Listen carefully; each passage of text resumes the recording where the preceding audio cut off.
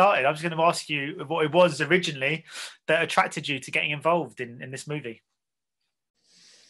I knew the producer, Oliver David, uh, because my sister and I actually acted in a short film that he made. And Ben, the director of Private Chat, was the first assistant director on Oliver's short film. And I remember then him telling me he was working on a script like about the private chat. And then three or so years later, and I think I got an email from maybe Oliver saying, Would you audition for this? And I read the script and it was a great role, I thought, and a very cool seeming project. And I and I Ben's films that he's made before this I found interesting. So it seemed like a no-brainer. Yeah, I mean, it's a great story. It reminded me a little of kind of the King of Comedy. I like how the kind of um, the sort of felt like the sort of blurring of the line between what is necessarily real and what's not. It, what might what might been in his head because uh, there were some moments where I did think, did that happen? I mean, was that? Do you remember that having that experience reading the script? Did you fully think? I mean, do you remember thinking? maybe I don't trust everything that's that's I'm necessarily reading. I didn't have that feeling, but I think it's interesting you did. Um, and I can see what if if I were to watch the film knowing nothing about it and with this character and with what's happening, I could see there is a quality of is this happening or is this is is this a fantasy coming true for him? Um, which I think is intentional. Mm. Yeah, because I mean, it's fair to say. I mean, this is a um, it is a brave performance in some regards. I mean, you do go to some places that some actors wouldn't. Were there any apprehensions getting involved in this project, and how much faith do you have to have in your filmmaker, in your director, when when you do take on a role like this, that it's it's going to be done sort of uh, tackled, I suppose, in a delicate manner? I didn't have much trouble signing on to do this. Um, which maybe not sure what that says about me. I maybe need to work that out in therapy. Uh, maybe, maybe I'm. Uh, it didn't. It never bothered me, and for some reason, I felt, and I really have. I'm not sure exactly why, but I never didn't trust that Ben would do a good job with the movie. I, I really liked the sensibilities of his of his previous films. I, I found them to be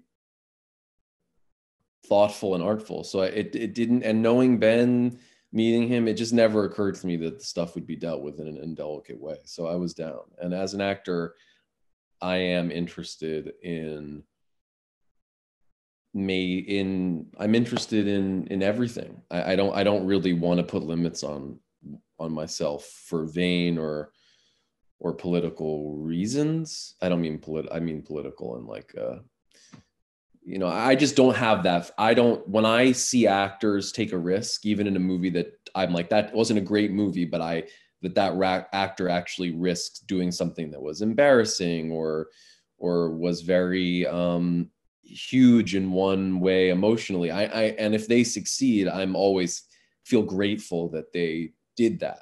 So that that's why I, with that in mind i just tend to say yes to challenging situations because that's why I'm doing this. Like that that is why I've signed up to be an actor with my life. I don't I'm not really interested in things I'm way less interested in things that don't make me feel uh, a little scared of doing them or what how will this be received when i'm asking myself those questions i feel like i'm actually in a space that i want to be in and maybe actually the character is interesting enough to do um, but I'm not asking myself those questions is when I know I'm doing something really easy, safe, and maybe even boring. and you have to risk being humiliated to do anything good. Yeah, it's interesting you say that because I mean, obviously, it's an it's, it is an actor's job to forget the camera is there. That's like one of the the things they'll just teach you right from the offset uh, when you sort of get into this career.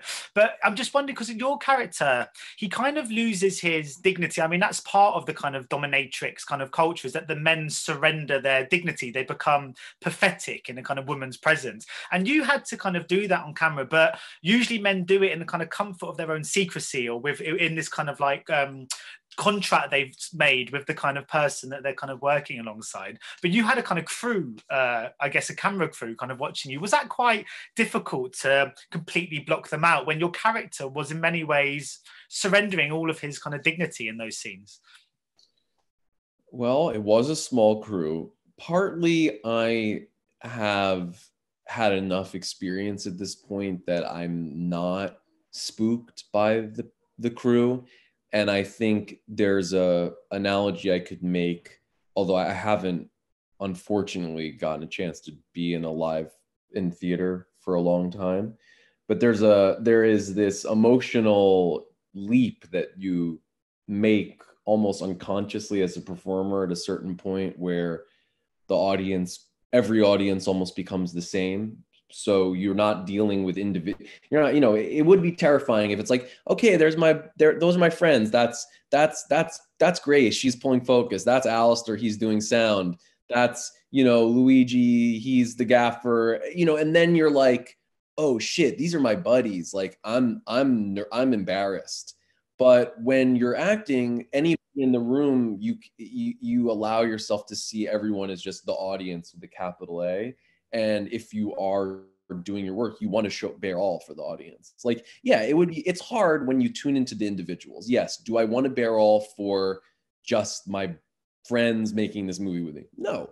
But for the audience that is like in conversation with every audience that's ever existed and the the the the idea of people receiving work and hopefully being moved by it and and then being able to sort of consider their lives from a different vantage point that or whatever you know on down the list of positive things that could happen from doing something embarrassing in quotes in front of people you know then it suddenly becomes like a like a challenge that you want to rise to and not something that you want to shirk from.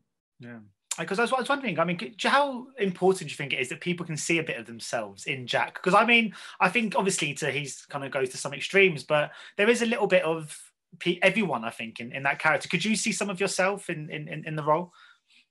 Yeah, I mean, I think yes. I, I it's an actor's job to find themselves in every role. You know, you know, even if you're playing Jack in this movie or Jack the Ripper in another movie. You know, your job is to is to find the humanity and to identify that it really is the job. But well, yeah, with this character, um, even though he has he is a really is a flawed guy, but he also is a romantic who's desperate for connection and i mean that's easy to relate to um, and I'm glad that you found him to be a character you related to. Yeah. I found his um, enthusiasm for, for and his passion kind of infectious. You know, when he kind of really got into something. Yeah. Well, it's it's great that you said that because I I do know I will tell you that that bringing that enthusiasm out of me was one of Ben's um, sometimes challenges and some but always one of his but always his directive with the with the movie. It was very important for him that even though he was making a film about uh uh uh, uh a just sort of on the face of it a lonely maybe slightly antisocial and guy that that what what what what he was underneath his his facade was a very enthusiastic very boyishly excitable and like hungry for the experience of being alive guy even though he's stuck in front of his computer only talking to cam girls and his you know preoccupation and occupation is gambling which is a pretty that that as an obsession is is is well, actually, I, am going to retract that. I was going to, yeah. There's something about gambling that it's it's very it's it's very exciting, but it's also deadening. You know, it's it's like a lot of the things you find online. It's like as much as it is stimulating, it also creates like a huge vacuum of need, almost in a similar way to like scrolling Facebook or um, Instagram or you know Twitter. Do you think there's almost like a kind of worrying amount out there for for people? So i just think, well what i mean by that is when i was kind of like 13 years old if i saw like a even just slight nudity on television i was like hello. But now if you're 13 you have the there's a lot available to kids of a certain age. And I know this film isn't necessarily delving into the dangers of it, but it does kind of touch upon the culture that people can kind of unwittingly get into on online. From the male perspective, I mean, I think actually Julia's character has a lot of agency over what she does. But your character, Jack, it does show some of the kind of dangers. Do, do you worry about the next generation? Because I think you're the sort of same age as me, and we kind of grew up just after all that. But I mean, kids these days have got a lot available at their fingertips, maybe a worryingly amount so. Yeah, I also feel like we had, if we're the same age, I also think we had a, a maybe not as much, and it wasn't there. What it wasn't as frictionless because we didn't have the phone in our pocket the whole time. But I remember feeling like the world of like online pornography, just for what it's worth, was you know there was no innocence there. I mean, we could just we could it, it definitely has accelerated in recent years, but I still think we we saw that. And what is the result of that? This is a question that I don't have an answer to at all. And I do, but I do think that part of what it might it will be a question that many will try to unpack and and and understand. And I think the movie is asking adjacent questions to yours is it providing answers? Not sure. Do I have an answer to that question? I really don't, but I will underline it as an interesting question. Yeah. And I was just wondering about collaborating with Julia on this because she, I mean, obviously, most of us became aware of her in Uncut Gems, and she was brilliant in that, and she's brilliant in this. And your performance with her, I mean, it's very, it's quite a raw performance, and you spend a lot of time, well, not a lot of time, but you spend some integral time together on screen. So I just wondered how it was to to work so closely with her on this project. Julia is a unique performer. She is an actor who, without trying, can bring her full humanity to the screen. And it, it, I've I've thought a lot about her and other actors on that with that ability to inhabit, and it really is hard to explain or understand. It's either there or it isn't. And in Julia's case, it is there 1000%. So that makes the experience for me also fun and effortless because you, there was never a moment when I didn't believe Julia was this person. And so then that gives me such freedom to be the to be Jack. Um, and yeah, I mean, Julia is amazing. We were lucky to have her. I was lucky to work with her. Uh, just so going back on what you just said, you obviously don't need to name names, but you're mentioning about obviously working with someone, and when they're so believable, it, make, it means it makes it easier for you to believe your character. Have you been in a scene before with an actor where because you don't believe their performance, it then makes it quite hard to believe your your own? Yes. Yeah. yes, that is the challenge. That is that is often the greatest challenge of acting.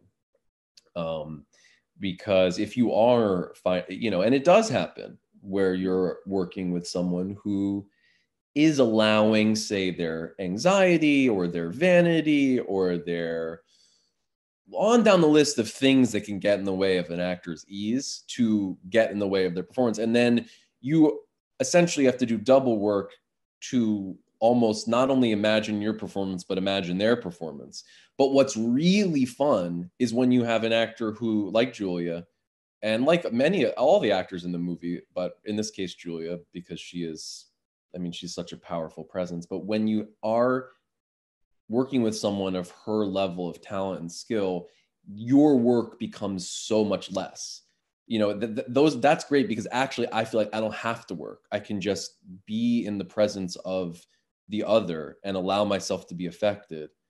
And it's it, that's when i think acting becomes truly special and not a job. It feels um that's that's when you feel like you get to because what we're going for as actors is to feel totally transported into another reality. So much so that we almost aren't even aware of where that when or where that happened. And that i believe is the kind of work that shows up best on camera where you as the audience member aren't seeing actors do a version of what they rehearsed at home. Actually the experience is had for the first time anew in front of the camera. And that those the result of that i believe is what people are looking for whether they know it or not when they go to see a film uh, so yeah, just my sort of just running out of time. It's my sort of final question. I was wondering because when you are shooting, uh, a lot of the scenes you do shoot with Julia are in front of a screen. Was she actually on the other end of a kind of webcam? Yeah. Or was that yeah?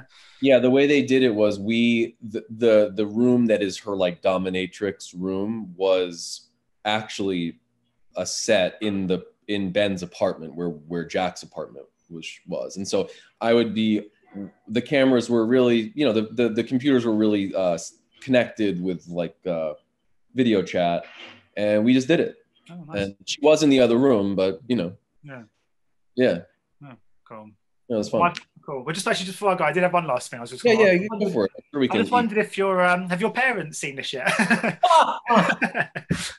That's a great question. Thanks for asking it. Uh, no, and you know, my parents really are supportive parents, um, and they want to see everything that I do but I've urged them to never see this. Yeah. you know what? They are complying.